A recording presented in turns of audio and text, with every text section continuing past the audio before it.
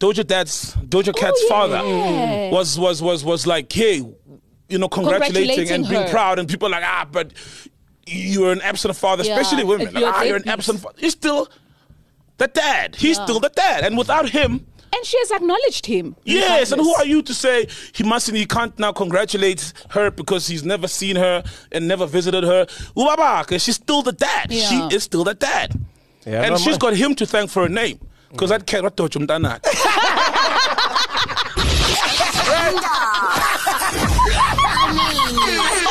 him. Dana. Shit, shit, but no Doja Cat.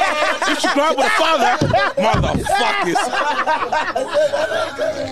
I, I, you set Fuck up that that shit, one. man.